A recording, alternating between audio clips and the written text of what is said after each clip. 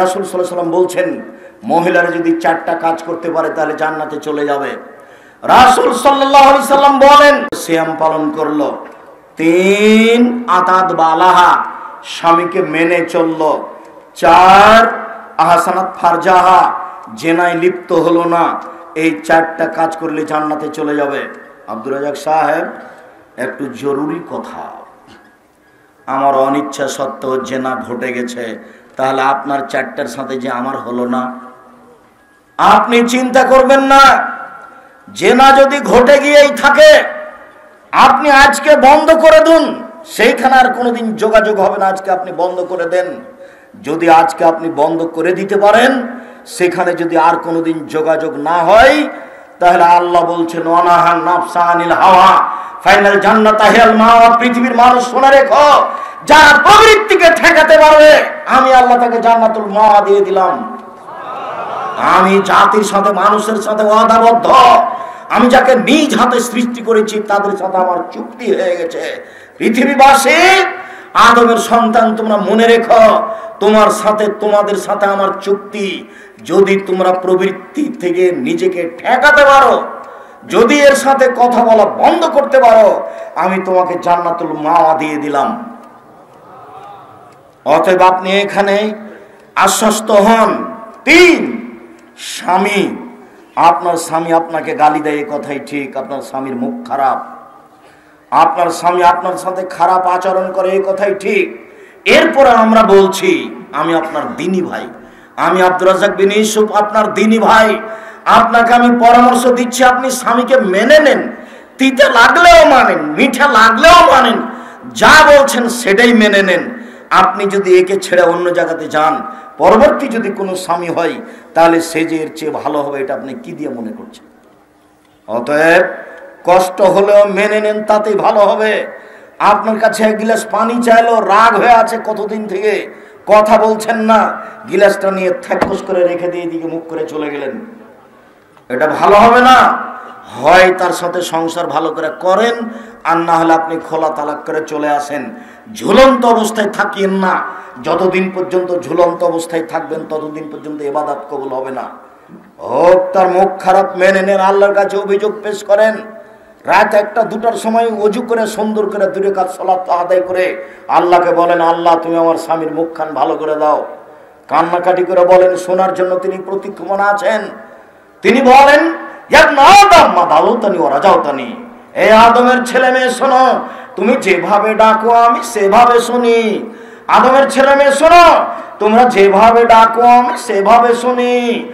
যেভাবে আশা পোষণ করো, আমি সেভাবে পূর্ণ করে থাকি। আদমের ছেলে মেয়ে শোনো, যেভাবে আশা পোষণ করে থাকো আমি সেভাবে পূর্ণ করে থাকি। যেভাবে ডাকো আমি সেভাবে শুনে থাকি। যেভাবে আশা পোষণ করো সেভাবে আমি পূর্ণ করে থাকি। ফার্স্ট ফারতানি গা ফারতলাকা। তুমি আমার কাছে ক্ষমা চাইলে তোমাকে আমি ক্ষমা করে দিব। আমি পরোয়া করি না, তুমি কত বড় পাপি। আমি পরোয়া করি না, তুমি কত বড় পাপি। আমি পরোয়া করি না, তুমি কত বড় পাপি। তুমি আমাকে একটু বলো না। তুমি যেভাবে বলো, আমি সেভাবে থাকি। যেভাবে আশা পোষণ করো, আমি সেভাবে পূর্ণ করে থাকি।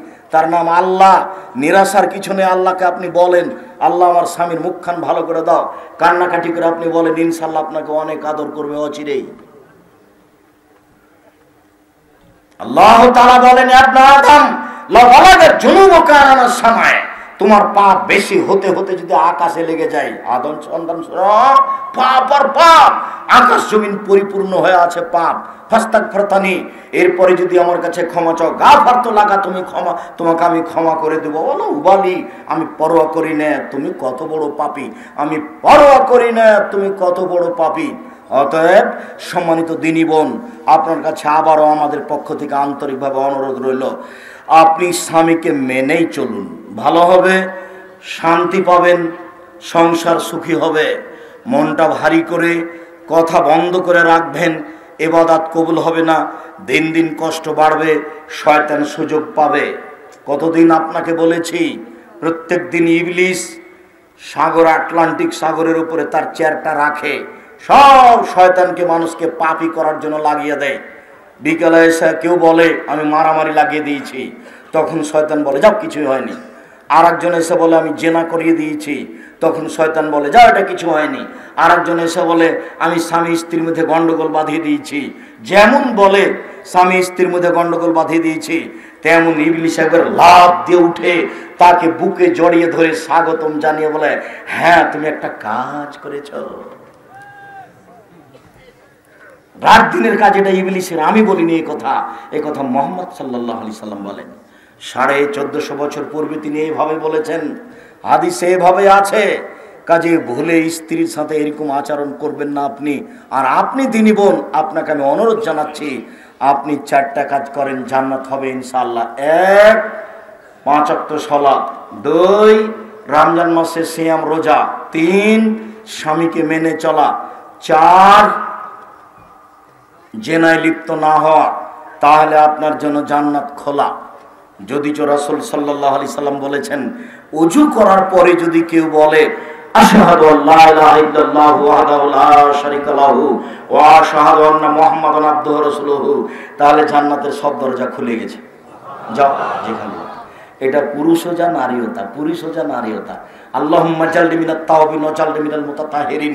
এই দোয়া পড়লে নেকি হবে এই কথা ঠিক, তবে জান্নাতের দরজা খুলে যাবে এই কথা ঠিক নয়। উজু করার পরে যদি মানুষ বলে, আশাহাদু আল্লাহ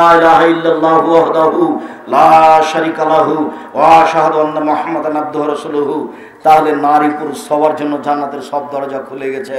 সম্মানিত দিনী বোন, আপনাকে অনুরোধ জানাচ্ছিলাম। সম্মানিত দিনী ভাই, আপনাকে আমি এখানে একটা কথা বলে আমরা বিষয়ের দিকে চলে যাচ্ছি। আপনি একটু খেয়াল করুন। এই ছেলে, বসো।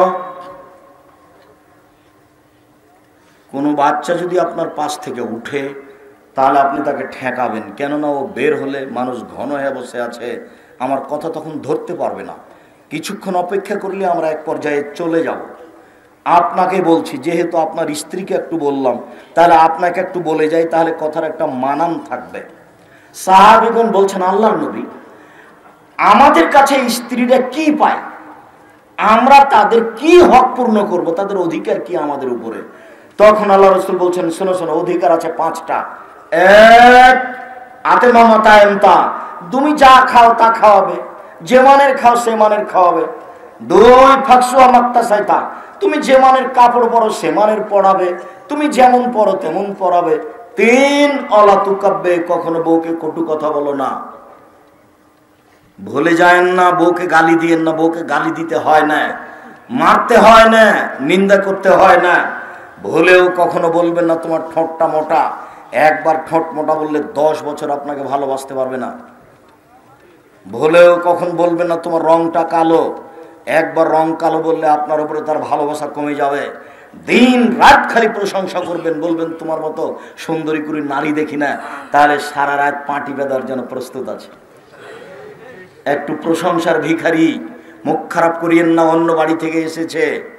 বাপের বাড়িতে লালন পালনে আপনার কাছে আছে, যৌতুক তো বহুদূরের কথা। আমি তো আপনাকে বলেছি, ভিক্ষা করা টাকা দিয়ে চাউল কিনে ভাত খেয়ে বাদাত কবুল হবে, যৌতুকের টাকা দিয়ে চাউল কিনে ভাত খেয়ে বাদাত কবুল হবে না। যৌতুক ফেরত দিতে হবে। তোমার বাপ বেটা নাকি দুইজনই যৌতুক নিয়েছ? কি তোমাদের কেউ ভিক্ষা দেয় না? যদি এলাকায় ভিক্ষা না দেয়, তাহলে ওই যে ইয়াতে বগুড়া ট্রেন স্টেশনে যাও। মানুষের ব্যাগ ধরে তুলে দিবা প্রতিদিন, সারাদিন দিলে অন্তত তিন থেকে পাঁচশো টাকা হবে। যৌতুক নিবা কেন? তোবা করো, মনে মনে তোবা করো, যে যা গিয়ে টাকাটা ফেরত দিব।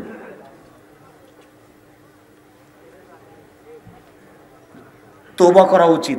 কাজ করে খাবা, ফুর্তিতে খাবা, ভালো লাগবে।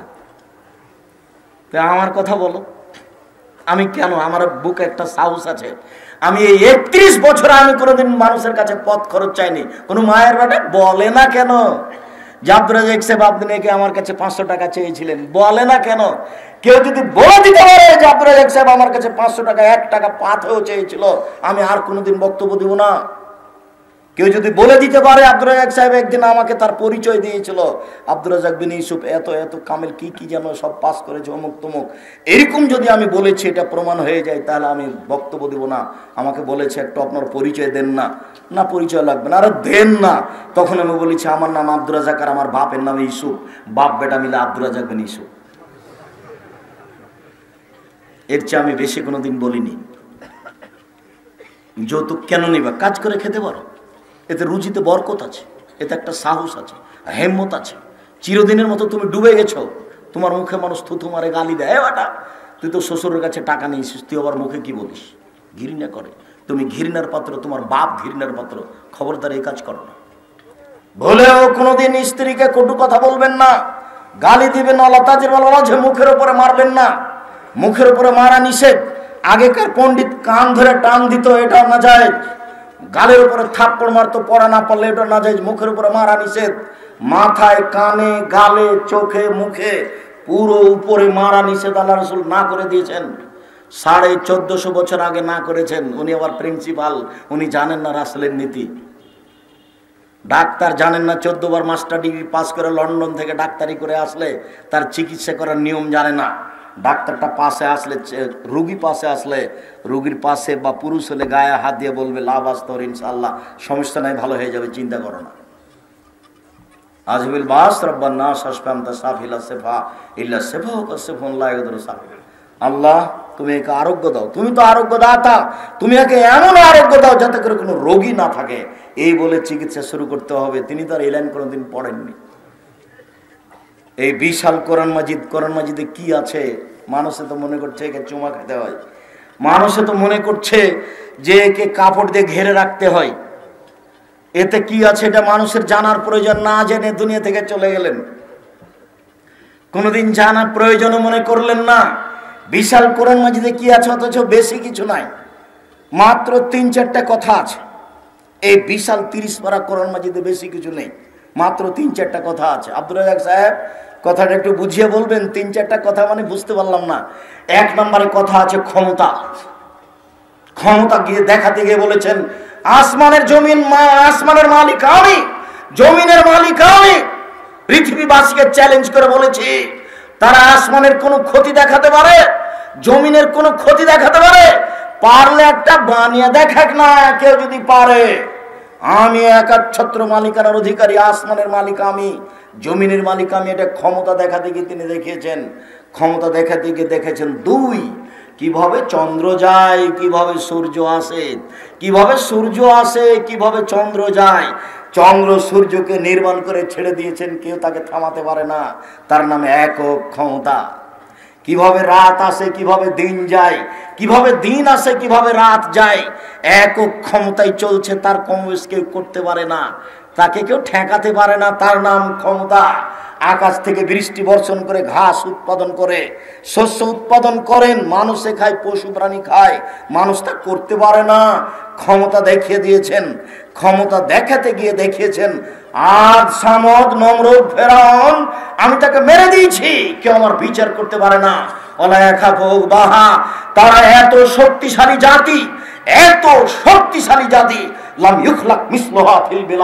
তাদের মতো শক্তিশালী জাতি আল্লাহ পৃথিবী তার কখনো সৃষ্টি করেননি, করবেন না। তাদেরকে ধ্বংস করে দিয়েছেন, একাকার করে দিয়েছেন। কেউ বিচার করতে পারে না, তার নাম ক্ষমতা। পুরো কোরআন মাজিদে খালি পাতায় পাতায় ক্ষমতা। পাতায় পাতায় দেখাবেন, আসমানের মালিক আল্লাহ, জমিনের মালিক আল্লাহ, তিনি সূর্য সৃষ্টি করেছেন তিনি চন্দ্র, রাত আসে, দিন যায়।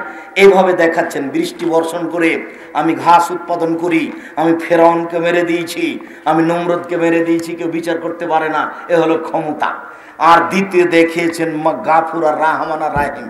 খালি গাফুর, দয়াশীল, খালি রাহমান, খালি রাহিম। গাফুর, রাহমান, রাহিম, বারুন দিয়ে আর অদূত দিয়ে কোরআন মাজিদকে ভরে ফেলে দেওয়া হয়েছে। কেউ পড়ে না, কেউ বুঝেও না। খালি পাতায় পাতায় গাফুর, পাতায় পাতায় গাফুর, পাতায় পাতায় রহমান, পাতায় পাতায় রাহিম, পাতায় পাতায় বারুন, পাতায় পাতায় রাউফন, পাতায় পাতায় অদূত মানে আমি প্রেমময়, আমি দয়াশীল, আমি ক্ষমাশীল, এটা দেখিয়ে কোরআন মাজিদকে ভরে ফেলে দিয়েছেন। তিন কিছু বিধান সলাত আদায় করতে হবে জাকাত দিতে হবে, চুরি করলে হাত কাটা যাবে, এ হলো কিছু বিধান। চার, এরই ফাঁকে ফাঁকে জাহান নামার জান্নাত জাহান নামার জান্নাত জাহান নামার জান্নাত, এই কোরআন মাজিদ শেষ। বুঝতে পারলেন না কথা মনে হয়? তো কোনোদিন পড়তেও পারলাম না, কোনোদিন বুঝতেও পারলাম না। কখনো মুখের উপর মারবেন না। চার, পাঁচ অলা ইল্লা ফিল বাড়িতে নিজের বাড়ি ছাড়া কোথাও থাকতে দিবেন না। চাচির বাড়ি যেতে পাবে না, খালার বাড়ি যেতে পাবে না, ফুফুর বাড়ি যেতে পাবে না। হাটায় বাজারে যাওয়ার তো কোনো প্রশ্নই আসে না। কা পুরুষের স্ত্রী হাটে বাজারে যায়। যারা নিজেকে পশু মনে করে গরু, ছাগল, তাদের স্ত্রী হাটে বাজারে যায়। কষ্ট পাচ্ছেন নাকি? আমার কিছু করার নেই কথা, আমি বলিনি।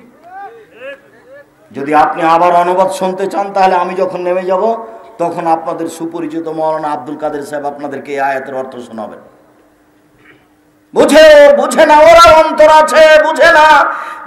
দেখে না, ওরা চক্ষু আছে, দেখে না। শুনেও শুনে না, ওরা কান আছে, শুনে না। ওরা একে তারা পশু প্রাণীর মতো, তারা গরু, ছাগলের মতো, তারা কুকুর সিলেগের মতো, তারা চতুষ্পদ প্রাণীর মতো বা বরং তার চেয়ে খারাপ। আপনি বলেন কি? আপনার একটা আত্মমর্যাদা থাকা দরকার। বাজারে যাবে মানে? বিবাহের বাড়ি যাবে কেন? বিবাহের বাড়িতে চলে গেলে স্বামীর সংখ্যা বেশি হয়ে যায়। সেখানে যাবে কেন? রং তামাশার কোনো শেষ থাকে না। রং ছিটানোর কোনো শেষ থাকে না। দৌড়াদৌড়ির কোনো শেষ থাকে না। কোথায় কোনটা দেবর আর কোনটা ভাসুর তার বিবেচনা থাকে না। আপনি নিজেকে ভালো মানুষ মনে করেন কি করে? কোন হিসাব আপনি করতে পারেন? এটা হয় কি করে? আপনার আত্মমর্যাদা আছে, এটা কে বলল? ভুল হিসাব। আপনাকে আমি কষ্ট দিতে আসিনি। আপনি আমার দিনী ভাই, আপনাকে আমি অনেক ভালোবাসি। সম্মানিত দিনী ভাই বোন, এখানে আপনার কথা রেখে দিলাম, আল্লাহ তালা বলেন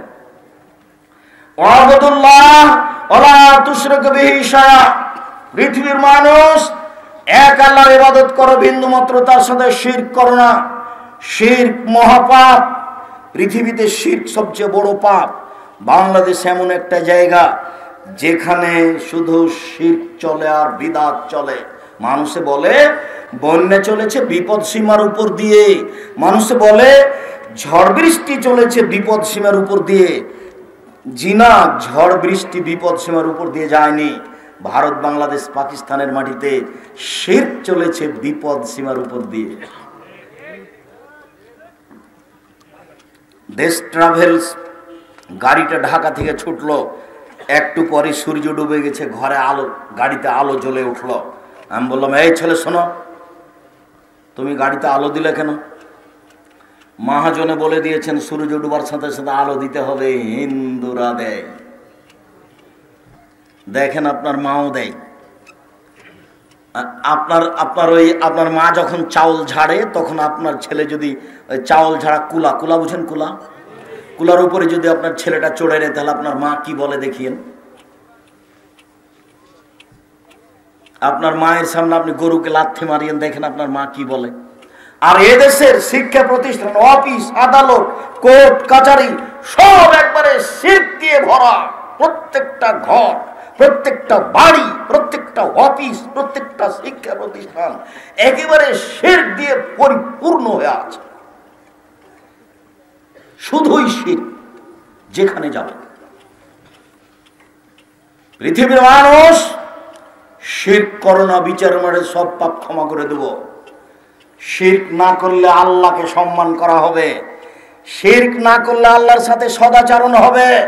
পৃথিবীর মানুষ মনে রাখেন, আল্লাহর সাথে সদাচরণ হলো শির্ক না করা। এক মিনিট। একদা আল্লাহ নবী এক গাধার উপরে বসেছিলেন। পিছনে মহাজিবনে জাবাল ছিলেন। মানে দুইজন পাশাপাশি বসে আছেন গাধাটা এবারে ছোট প্রাণী। পাশাপাশি দুইজন আগে আছেন আল্লাহর নবী, পিছনে আছেন মহাজিবনে জাবাল। আল্লাহ নবী বলছেন মজ তো মহাজিবনে জাবাল বলছেন লাভবাহিক সাদায়ক জি, প্রস্তুত বলেন, কি বলছেন? তিনি বলছেন মজ তো মহাজিবনে জাবাল বলছেন লাভবাহিক সাদায়ক জি, প্রস্তুত বলেন, কি বলছেন? আবার বলছেন মজ তো মজ বলছেন জি, আল্লাহ রসুল প্রস্তুত, বলেন কি বলছেন? আল্লাহ রসুল তো কথা বলছেন না, খালি এটাই বলছেন। কেন? ওনাকে প্রস্তুতি প্রস্তুত করে নিচ্ছেন আমার কথা যেন উনিশ বিশ না হয়। আর আপনি দাঁড়িয়ে গল্প করবেন না, আমার বক্তব্য শুনবেন, এটা কথা হলো? কথা বুঝাতে পারিনি এখনও। আল্লাহ রসুল মাছকে বলছেন মাছ মাছ কি দূরে আছে? বলেন তো কোথায় আছে? গাধার উপরে একবারে গায়ের সাথে লেগে আছে। গাধাই তো ছোট প্রাণী। তারপর আবার বলছেন, মাছ! জি, বলেন। মাছ! জি, বলেন। তিনবার মানে তাকে প্রস্তুত করলেন, কথা যেন উনিশ বিশ না হয়। তাই করোনা ভাইরাসকে লক্ষ্য করে আমি বলেছিলাম যে রাসুল সাল্লাহ আলি সাল্লামের সাহাবিগণ সবচেয়ে বেশি আল্লাহ রসুলকে মেনে চলতেন, বলাও লাগতো না মেনে চলতেন এ ব্যাপারে এত সতর্ক ছিলেন সাহাবিগণ। এরপরে বলছেন, মজ জি মজ জি মজ জি। এত তো বলা লাগে না। কেন এত বললেন? অথচ কত জোরালো অনুসারী ছিলেন। বলা লাগতো না, এমনিতেই। এমনিতেই মানে আব্দুল সাহেব একটু ঘটনাটা বলেন তো, এমনিতে কি? আরে শোনেন শোনেন। আল্লাহর নবী একদিন জুতা পায়ে দিয়ে সলাৎ শুরু করেছেন। তো জুতাতে ময়লা ছিল। জুতা পায়ে দিয়ে নামাজ পড়া যায় যদি জুতাতে ময়লা না থাকে। তো সলাৎ শুরু করেছেন। তখন জিবরাইল এসে বলছেন, জুতা খুলেন জুতা খুলেন, জুতাতে ময়লা আছে। আল্লাহ রসুন জুতা খুলে দিয়েছেন। সালাম ফিরার পরে দেখছেন সাহাব সবাই জুতা খুলে দিয়েছে। তা আল্লাহ বলছেন, কি ব্যাপার কি ব্যাপার? তোমরা জুতা খুলেছো কেন তো সাহাবেগন বলছেন, আরে, আপনাকে যে সলাতের মধ্যে জুতা খুলতে দেখলাম, সেই জন্য তো খুলে দিয়েছি। আরে, জিব্রাইল আমাকে বলছেন যে, আপনার জুতাতে ময়লা আছে সেজন্য আমি খুলে দিয়েছি। তো তোমাদের জুতাতে আর ময়লা নেই, তোমরা খুলেছো কেন? বলে, আপনাকে খুলতে দেখেছি সেই জন্য। এ দেখেন, বলা লাগে না। দেখেই মেনে নিয়েছেন, তার নাম সাহাবি। এত সচেতন মানুষ সাহাবি হওয়ার পরেও জীবনে কোনোদিন এক অক্ত সলাপ এই কথা না বলে শুরু করেননি। কোন কথা? কাতার সোজা করুন। প্রাচীরের মতো হয়ে দাঁড়ান। ফাঁকা বন্ধ করুন। যে, দুইজনের মাঝে শয়তান ঢুকছে ছাগলের বাচ্চার মতো। ফাঁকা বন্ধ করুন। প্রাচীরের মতো হয়ে দাঁড়ান। মানসাদ্দা ফুরজাতান বানাল্লাহ বাইতান ফিল জান্নাহ। কেউ যদি ফাঁকা বন্ধ করে, তাহলে আল্লাহ তার জন্য জান্নাতে ঘর বানাবেন। এই কথা না বলে তিনি কোনোদিন সলাৎ শুরু করেননি। তেইশ বছরের কোনো একদিন কোনো এক অক্ত। তেইশ বছরের কোনো একদিন কোনো এক অক্ত এই কথা না বলে যদি সলাৎ শুরু করেছেন, এটা প্রমাণ হয়ে গেলে আমি আব্দুর রাজাক বিন ইসুফ সেদিন থেকে আর বক্তব্য দেব না।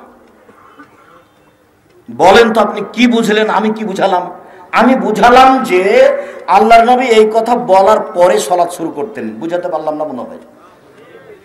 আগে ওদের দিকে মুখোমুখি হয়ে বলতেন, কাতার সোজা করুন, প্রাচীরের মতো হয়ে দাঁড়ান। আগে পিছে হয়েন না, নইলে অন্তরে বিভেদ সৃষ্টি হবে। ওই যে ওই যে ফাঁকা দিয়ে শয়তান ঢুকছে, ছাগলের বাচ্চার মতো হয়ে আমি দেখছি।